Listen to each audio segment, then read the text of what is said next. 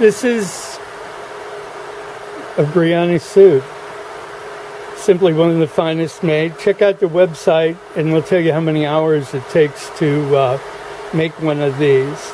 Uh, this one's double breasted with the classic six buttons, flap pockets. The material has all kinds of undertones, even kind of purplish in the light. And this is clean on the inside, no vent in the rear. Inside here we see the Brioni label. And this other smaller label. One of those times I wish I could read. Uh, and it's looking like a 42 long. And it's full satin lined. Has the cut in here to protect the uh, silk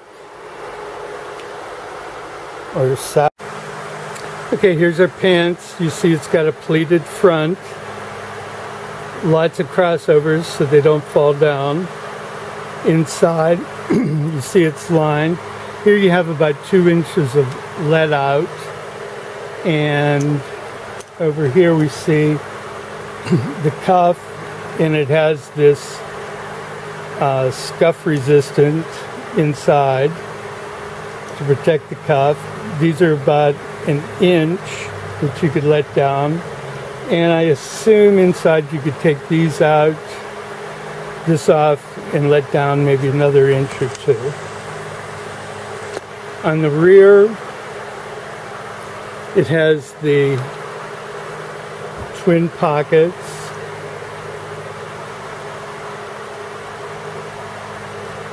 And it's just gorgeous.